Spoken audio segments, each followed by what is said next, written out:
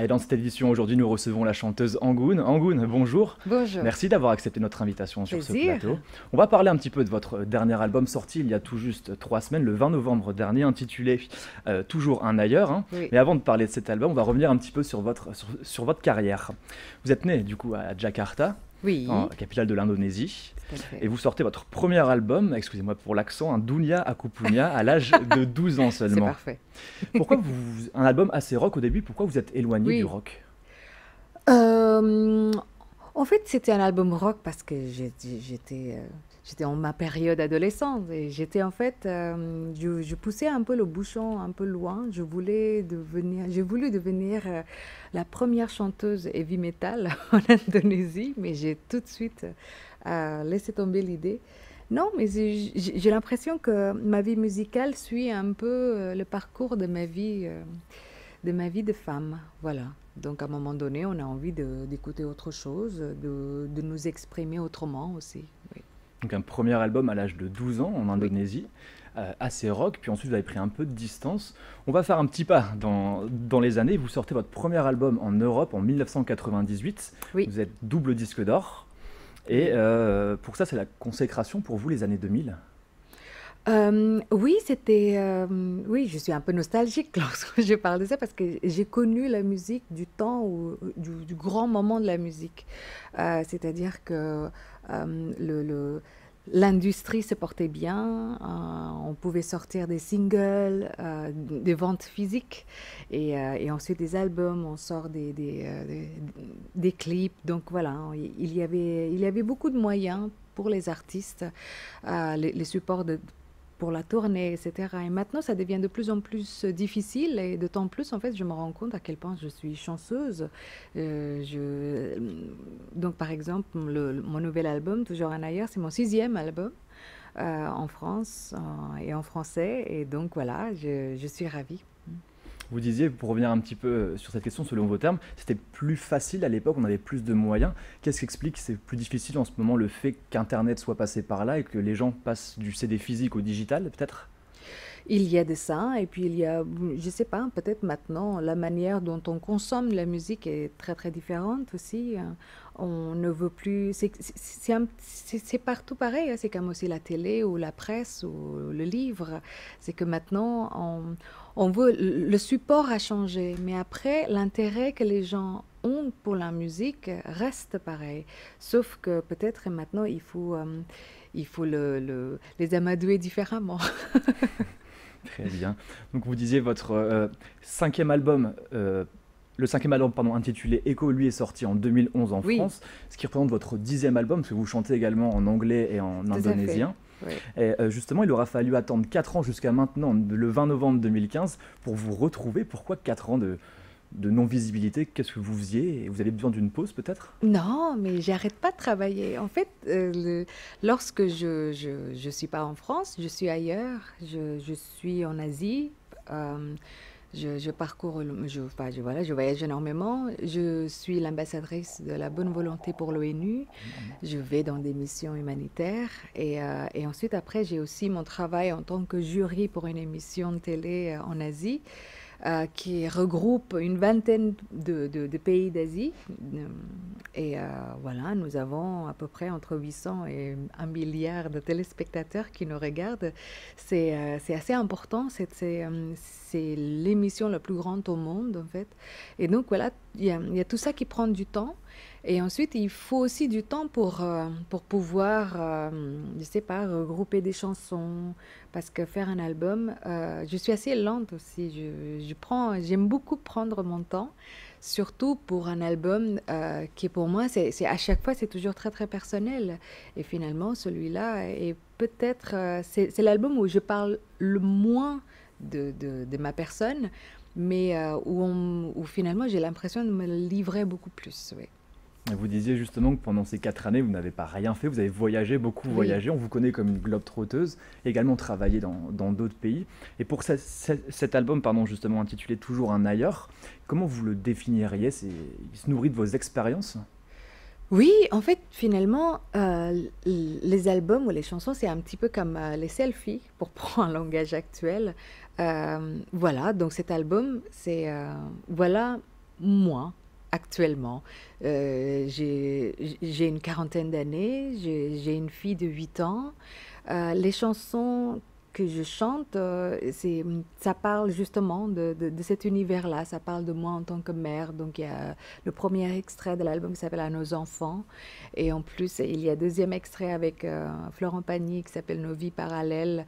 Et ça parle justement de, cette, euh, de ce voyage ou de ces rencontres, que, que ça soit spirituel ou la rencontre avec un une âme, une personne, un personnage.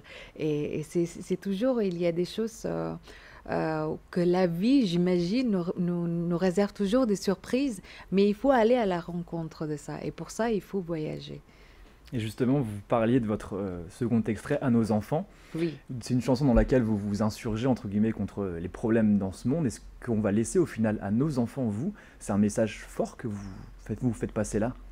Euh, j'essaye parce que justement, en tant que maman, euh, une de mes préoccupations hein, primordiales, c'est vraiment la sécurité de mon enfant. Et puis, en tant que maman, je suis sa, je suis sa premier exemple de femme. Euh, donc voilà, il faut, je, me dois être toujours optimiste, être toujours forte en face, en face à mon enfant. Mais en même temps, je sais aussi, euh, je voudrais pas trop la, la, la, protéger au point où, comme euh, Siddhartha Gautama, vous savez, euh, au, point où elle ne voit pas de mal, parce qu'il faut qu'elle sache de plein de choses qui se passent aussi dans ce monde, mais à, petite dose pour l'instant, oui. Et pour revenir sur, sur, cet album, justement, en français, 16 chansons en français, il me semble Il y a 14. 14 chansons. Pourquoi avoir fait le choix du français? Parce qu'on vous connaît aussi euh, en chantant en anglais ou en indonésien. Sur les 10 albums que vous avez sortis, il y en a eu quasiment une moitié dans d'autres langues. Pourquoi le choix du français sur celui-ci? Parce qu'en fait, à chaque fois, on fait un double album. On fait un album en français et ensuite, euh, quelques mois plus tard, on sort euh, le même album en version anglaise qui est ensuite décliné en version indonésienne, etc. Et en fait, l'album en, l'album en anglais est prévu. Ce sera fait l'année prochaine. Mais pour l'instant, non, j'avais l'impression de travailler d'abord l'album en français parce que nous avons, enfin, j'ai surtout la chance d'avoir Florent Pagny qui, euh, qui est venu pour euh, cet album et puis Angelique Kidjo aussi qui a posé sa voix. Donc voilà. Et justement, vous évoquiez la chanson avec Florent Pagny. On va écouter un extrait et puis on se retrouve juste après. Avec plaisir. Je prends le train, celui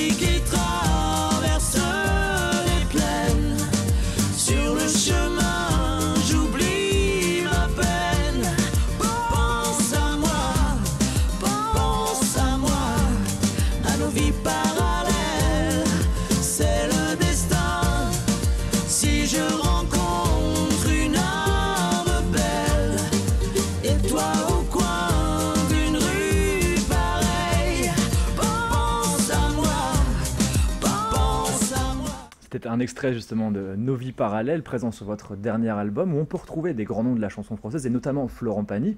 Pourquoi vous êtes-vous enfin, vous, êtes -vous entouré de, grands noms de la chanson française, et quelle est votre relation avec Florent Pagny, justement? Alors, Florent Pagny, c'est particulier, puisque c'est euh, la personne qui m'a aidé à percer en France. Euh, lorsque je suis arrivée, euh, j'ai quitté, quitté l'Indonésie, j'avais 20 ans, et je suis allée à Londres, et ensuite, après, j'ai atterri en France, et c'est à ce moment-là, enfin, je ne parlais pas la langue, je connaissais personne. Je rencontrais par les billets, euh, voilà, c'est une rencontre assez improbable, j'ai rencontré Florent Pagny, et c'était lui qui m'a tendu la main et qui m'a présenté à une équipe, et depuis, en fait, c'était devenu la mienne, et et vraiment, grâce à Florent, j'ai pu, euh, j'ai pu signer un contrat de disque, j'ai pu, pu sortir un album. Et, mais, euh, tout ça, il ne savait pas, puisqu'il était tout de suite parti euh, en Patagonie. Et donc, en fait, nous avons une amitié un peu frustrante pour moi. Et, et donc, 20 ans après, je l'ai invité pour chanter sur cette chanson. Et il l'a accepté direct, sans même avoir écouté la chanson. Ça s'est fait naturellement au final. Très bien. Et puis, on va élargir un petit peu euh, les questions, on sait que vous êtes une, globe trotteuse. Vous l'aviez expliqué plutôt que vous travaillez sur différents projets, dans différents pays aussi. Mhm. Quel regard vous portez sur, sur le voyage? Est-ce que c'est important pour, pour former? Est-ce que vous êtes d'accord avec l'expression le voyage forme la jeunesse Mais je, Moi, je suis, euh, je suis un peu biaisée lorsque je parle de voyage parce que je voyage tous les deux semaines, hein, un peu euh, loin. Et c'est, je, je, reste persuadée, c'est vraiment qu'en voyageant, non pas simplement vous allez vous ouvrir envers le monde et euh, vous allez rencontrer des choses. Parce que le dépaysement, c'est quelque chose de, très très important. Mais finalement, ces dépaysements-là, même lorsque vous sentez que la chaleur de soleil n'est pas forcément euh, bon ou trop fort ou, trop peu, c'est justement ce genre de choses, ce dépaysement-là qui vous fait connaître et qui vous fait comprendre vous-même. Et donc, ça veut dire que aussi, si vous comprenez vous-même, vous, pouvez comprendre les autres beaucoup plus facilement. Et je suis, euh, je suis une adepte de voyage parce que j'adore de jouer la touriste un peu. J'adore être dans un endroit où je comprends rien. tout est exotique. Je comprends pas une, euh, je comprends pas un mot. Et il y a tout à apprendre. Oui. Très bien. Vous disiez au tout début de cette interview, pour revenir un petit peu, que vous aviez souhaité devenir plus jeune une des stars du heavy metal. On ne connaissait pas ce, côté-là. Mais ce qu'on a pu lire également, c'est que vous jouez du piano. Est-ce qu'on pourra vous entendre jouer du piano sur ce dernier album? Euh, Non. En fait, sur ce dernier album, je n'ai pas, joué aucun instrument, mais par contre, je joue sur scène. Et j'ai l'impression, j'ai beaucoup de, de, chance aussi d'avoir des quatre magnifiques musiciens. Mais pour l'instant, en fait, nous n'allons pas être sur scène tout de suite. Ça va être euh, à la fin de l'année prochaine, si tout va bien. Voilà. On espère que tout ira bien d'ici là pour vous. Angoun, merci d'avoir accepté notre invitation. Puis bon courage pour euh, cette future, ces, futurs concerts en fin d'année prochaine. Merci. Je rappelle votre album intitulé Toujours un ailleurs, sorti le 20 novembre dernier et qui sera en concert d'ici une petite année. Donc. Voilà. Merci beaucoup en tout cas Angoun. Et c'est la fin de cette édition. Merci à toutes et à tous de nous avoir suivis.